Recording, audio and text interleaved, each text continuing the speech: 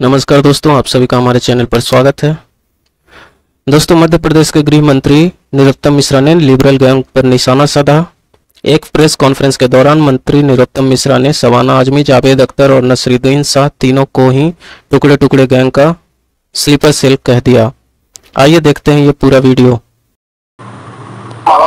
ने ये जो गुजरात की घटनाओं को लेकर टिप्पणियाँ की है। और कहा है कि सरकार सही से काम नहीं कर रही। है ये क्या है? सवाना आदमी है। जो जावेद अख्तर जी हैं, नसरुद्दीन शाह है। ये सब टुकड़े टुकड़े गैंग की स्लीपर सेल है।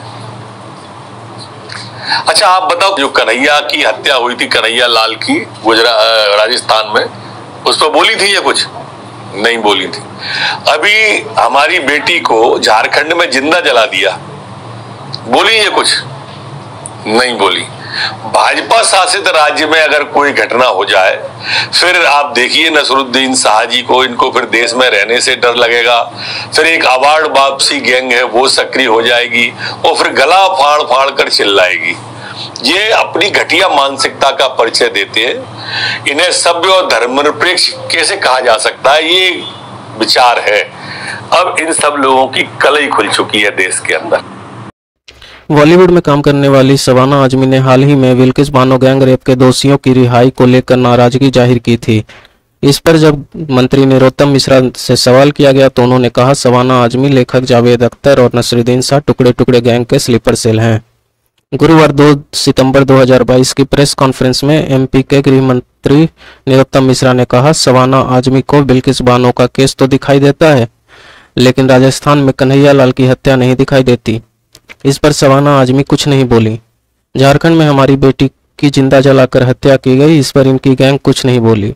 इस दौरान उन्होंने कहा कि टुकड़े टुकड़े गैंग को और अवार्ड वापसी गैंग को यह सब दिखाई नहीं देता है। मध्य प्रदेश के गृह मंत्री निरुत्तम मिश्रा ने यह भी कहा कि बीजेपी शासित राज्य में कुछ हो जाए, तभी यह गैंग जागता है। तभी इन सभी को देश में रहने में डर लगने लगेगा।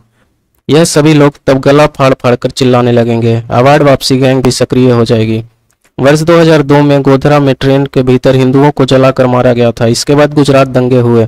बिल्किस बानो केस इसी का एक चर्चित मामला है। आरोप के अनुसार गुजरात के दाहोद ज़िले के राधिकपुर गाँव में रहने वाले बिल्किस बानो के घर अनुमानतः 20 लोगों ने हमला कर दिया था। आरोप है उन हमलावरों ने बिल्किस, उनकी माँ और तीन अन्य महिलाओं के साथ बलात्कार किया। इसके अलावा यह भी आरोप है कि हमलावरों ने बिल्किस के खानदान के कुल आठ सदस्यों की हत्या की, जबकि छह लोग लापता हो गए थे। गौर करने वाली बात है कि हमला करने वालों ने तीन साल की एक मासूम को ज़िंदा छोड़ दिया था। हमले के बाद बिल्किस बेहोश हो गई थी। होश में आने के बाद उन्होंने एक आदिवासी महिला से मदद ली थी। इसके बाद वह एक होमगार्ड से मिली थी, जो उन्हें लिमखेड़ा पुलिस स्टेशन लेकर गया था। इस मामले में सीबीआई ने बताया, तथ्यों को दबाया गया और शिकायत का एक विकृत तथा छोटा संस्करण लिखा गया। दोस्तों, इस पूरी घटना के बारे में आप क्या सोचते हैं और इस पूरी खबर के बारे में आप क्या सोचते हैं, अपनी राय हमें कमेंट में ज़रूर बताएँ और इस वीडियो को लाइक करें शेयर करें और चैनल को सब्सक्राइब करें। धन्यवाद।